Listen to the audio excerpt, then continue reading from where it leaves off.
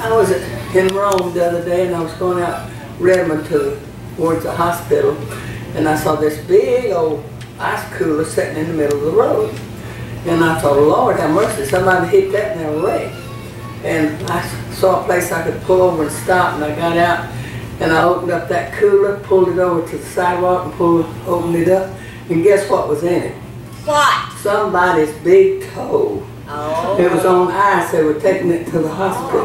Well, what'd you do about that? Well, I called a tow truck.